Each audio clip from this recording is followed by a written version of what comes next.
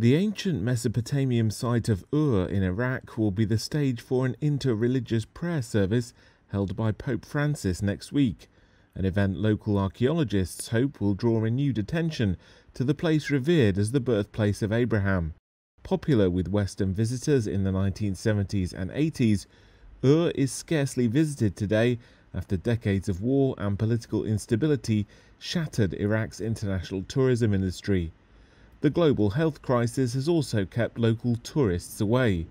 The State Board's Antiquities and Heritage Archaeological Director is Ali Kadim Ghanim. We're counting on the Pope's visit because it will increase the number of tourists in the city of Ur. Not only tourists, but we believe there will also be more Christians making the pilgrimage. Located about 200 miles south of the capital Baghdad, the site is made up of a pyramid style ziggurat and a residential complex.